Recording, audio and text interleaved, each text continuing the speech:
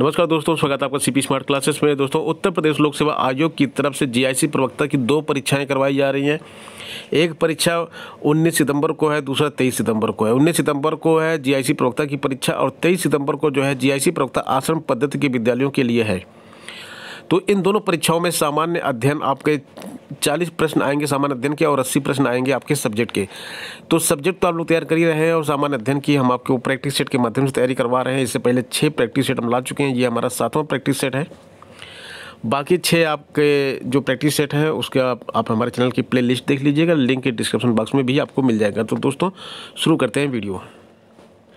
दोस्तों, आगे बढ़ने से पहले आपको बता दें कि जो छात्र नए हैं, उनको गूगल प्ले स्टोर पे हमारा सी पी स्मार्ट क्लासेस का मोबाइल एप्लीकेशन भी मिल जाएगा। केवल ये सर्च करना है सी पी स्मार्ट क्लासेस आपको ये ऐप मिल जाएगा, इसको आप डाउनलोड कर लीजिए। यहाँ पे जीआईसी प्रवक्ता का फुल वीडियो कोर्स भी आपको उपलब्ध है, जिसकी सहायता से आप पंद्रह दिन में फुल तैयारी कर सकते हैं। टू द पॉइंट वहाँ पर पढ़ाया गया है और जीआईसी प्रवक्ता के लिए टेस्ट सीरीज़ भी उपलब्ध है। टेस्ट सीरीज़ में हम 50 टेस्ट सीरीज़ आपको दे रहे हैं। 40 प्रश्नों की 50 टेस्ट सीरीज़, यानी कि 2000 प्रश्न इन 2000 प्रश्नों में से काफ़ी प्रश्न आपकी परीक्षाओं में फंसेंगे और इन 50 टेस्ट सीरीज़ को आप एक दिन में तीन टेस्ट भी लगाएँगे, चार टेस्ट भी लगाएँगे तब भी आपका 10 से 15 दिन में ये कंप्लीट हो जाएगा। जब आप टेस्ट सीरीज़ अपनी सबमिट करेंगे, सॉल्व करके तो आपको कुछ इस तरह का दिखाई देगा। देखिए 155 लोगों ने इस टेस्ट सीरीज़ को लगाया हुआ है और यहाँ पे एम सर करके एक स्टूडेंट जिन्होंने रजिस्टर्ड किया, हमारे मोबाइल ऐप को इस नाम से रजिस्टर्ड किया इनके 35 नंबर आ रहे हैं 40 में से। 35 प्रश्न सही हो रहे हैं। शीतल के उनतालीस प्रश्न सही हो रहे हैं। सत्येंद्र कुमार मौर्य के इकतीस, ज्योति पांडे के तीस, अक्ष आकाश पांडे के 27 इसी तरह से आपकी यहाँ पर रैंक भी बनकर आ जाएगी कि आप इतने लोगों में कौन सी रैंक पे अभी ये देखिए यहाँ पे अजय जो है 26 नंबर ला के 155 छात्रों की रैंक में इनका छठवां नंबर है। सिक्स रैंक इनकी है।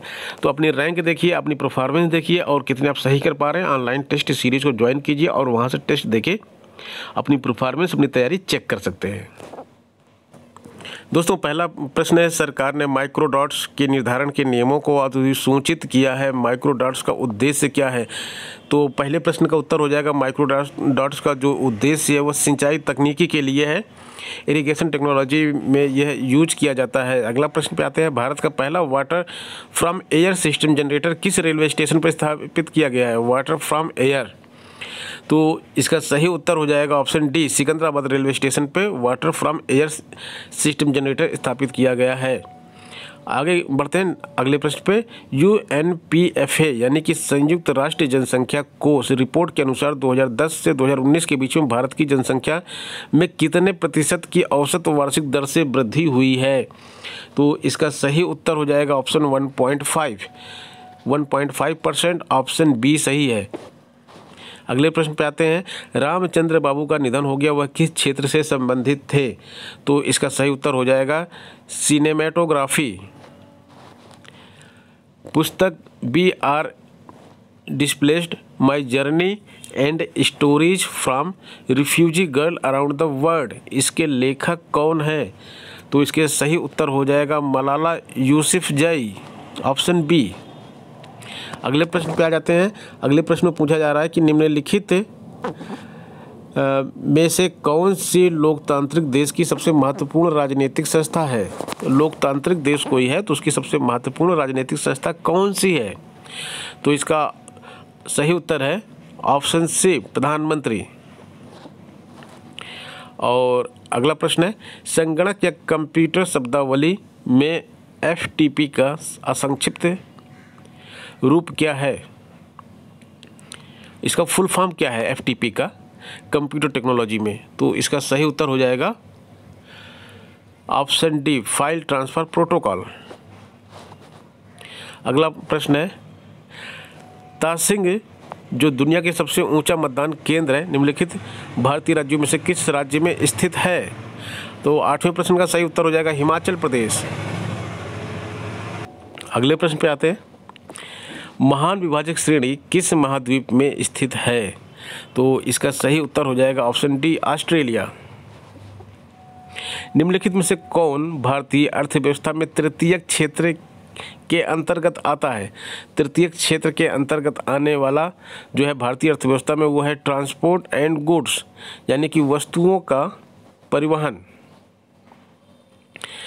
बुक बथुकंप किस राज्य का पर्व है? ये बहुत ही इम्पोर्टेंट प्रश्न है। इस तरह के प्रश्न एग्ज़ाम में अक्सर आते रहते हैं।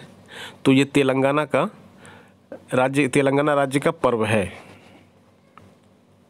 कौन से भूकंप भ्रंश तल के किनारे चट्टानों के सरक जाने के कारण उत्पन्न होते हैं?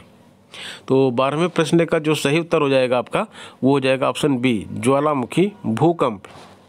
अगले प्रश्न पे आते हैं पीएच मानक का आविष्कार किसने किया था? पीएच वैल्यू हम लोग जानते हैं ना, हर एक चीज़ की पीएच वैल्यू होती है तो इसका आविष्कार किसने किया था? तो सही उत्तर है, सोरेन सोरेन सेनेट ने किया था इसका, सही निम्नलिखित में से भारत का कौन सा पड़ोसी देश स्थल सीमा से घिरा हुआ देश नहीं है? तो इसका सही उत्तर हो जाएगा ऑप्शन बी म्यांमार। और पंद्रहवें प्रश्न पे आते हैं। संविधान की किस अनुसूची में केंद्र और राज्य के मध्य शक्तियों का विभाजन संबंधित है? तो पंद्रहवें प्रश्न का सही उत्तर हो जाएगा ऑप्शन सी, सातवीं अनुसूची में। अगला प्रश्न है, इन्फ्लेशन एग्जिस्ट व्हेन मुद्रास्फीति कब होती है? मुद्रास्फीति कब होती है? सोलहवें प्रश्न का सही उत्तर है option A there is a general increase in the price over time समय के साथ कीमतों में सामान्य वृद्धि जब होती है, तब मुद्रास्फीति होती है। सत्रहवें प्रश्न पे आते हैं। निम्नलिखित तत्वों में से किसकी परमाणु संख्या क्लोरीन की तुलना में अधिक होती है? सत्रहवें प्रश्न का सही उत्तर है पोटेशियम, ऑप्शन ए। अगले प्रश्न पे आते हैं। अठारहवें प्रश्न पे आते हैं। अठारहवा प्रश्न है crystallization is an example of crystallize क्रिस्टलीकरण किसका उदाहरण है? तो सही उत्तर हो जाएगा इसका फ़िज़िकल चेंज का, भौतिक परिवर्तन का सही उदाहरण क्रिस्टलाइजेशन होता है। उन्नीसवा प्रश्न निम्नलिखित में से कौन सी चीज़ एक जीन का गठन करती है? तो इसका सही उत्तर हो जाएगा option A polynucleotides Tipu Sultan lost his life in the Anglo Mysore war Tipu Sultan ने अपने प्राण एंग्लो मैसूर के कौन से युद्ध में त्यागे थे? वो एंग्लो मैसूर का कौन सा युद्ध था? कई युद्ध लड़े गए थे तो इसका सही उत्तर हो जाएगा ऑप्शन डी चतुर्थ। यानी कि फोर्थ बैटल में जो है ये अपने प्राण त्यागे थे। इक्कीसवें प्रश्न का को देखते हैं, केंद्र सरकार ने अगले पाँच वर्षों में कितने हुनर हाट्स आयोजित करने की योजना बनाई है। तो इसका सही उत्तर हो जाएगा इक्कीसवें प्रश्न का ए, ऑप्शन। और संख्या है सौ। Who invented vacuum flask vacuum flask का आविष्कार किसने किया? बाईसवां प्रश्न जो है हमारा, इसका सही उत्तर हो जाएगा ऑप्शन डी, जेम्स डेवर। और अब बढ़ते हैं तेईसवें प्रश्न की तरफ़। Which of the statement given below are correct नीचे दिए गए कौन से स्टेटमेंट सही हैं? तो ये सारे स्टेटमेंट आप पढ़ लीजिए। इसका जो सही उत्तर हो जाएगा वो है ऑप्शन बी दो और तीन। अगले प्रश्न पे आते हैं। Elephanta caves is in, Elephanta की गुफाएँ किस राज्य में है? तो चौबीसवें प्रश्न का सही उत्तर है महाराष्ट्र। अगला प्रश्न है। Where have the world's oldest fossil tree, trees been recently discovered. विश्व का सबसे पुराने जीवस में पेड़ों को हाल ही में कहाँ खोजा गया है? पच्चीसवा प्रश्न, इसका सही उत्तर हो जाएगा ऑप्शन सी, न्यूयॉर्क में।